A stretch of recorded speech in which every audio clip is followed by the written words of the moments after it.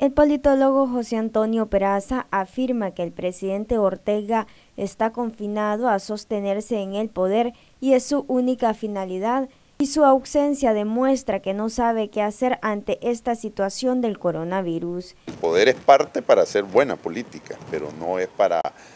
Eh, la idea de hacer política no es única y exclusivamente mantenerse en el poder, ¿no? El poder se tiene que usar para algo y definitivamente en esta crisis el poder está ausente no lo está usando porque no sabe cómo usarlo. Él está acostumbrado a usar el poder únicamente para sostenerse en el poder, para conspirar, para tergiversar, para manipular, para mantenerse en el poder. Esa no es la, política con P mayúscula, la política que transforma los países. Entonces, por tanto, Ortega no sabe qué hacer en condiciones como las que estamos.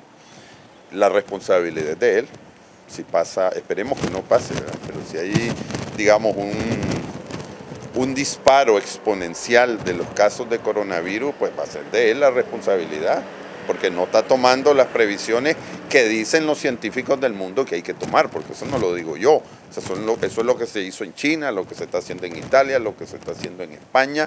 Vean los problemas que, están que se están viviendo en Ecuador, podría pasar eso o más, ¿verdad? Entonces, eh, en las circunstancias que estamos, tenemos que ver esa, esa situación. Peraza agrega que Nicaragua vive una crisis profunda. Posiblemente el mundo va a entrar en recesión o posiblemente va a tener un retroceso. Se hablaba de que Nicaragua podría tener un retroceso en el PIB este año de 1.5, 1.9. Yo estoy casi seguro que vamos a tener que agregarle un punto más. Estamos hablando que podemos llevar a un retroceso de 3%. Yo ya hablaba a doña Lucy Valenti de que para que se recupere el turismo a nivel mundial, suponiendo que se resolvieran las cosas, se van a tardar por lo menos 19 meses. Estamos hablando de que, y el turismo es una de las industrias principales eh, para el sostenimiento de la economía nicaragüense. Eso significa de que vamos a tener serios problemas para reactivar el país, suponiendo que nos vaya bien. Noticias 12, Darlene Telles.